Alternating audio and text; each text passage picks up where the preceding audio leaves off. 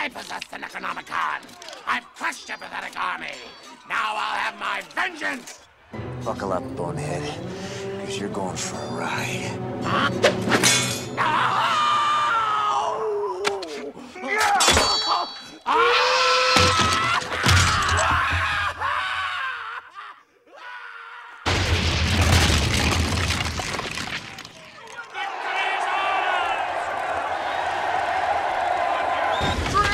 retreat!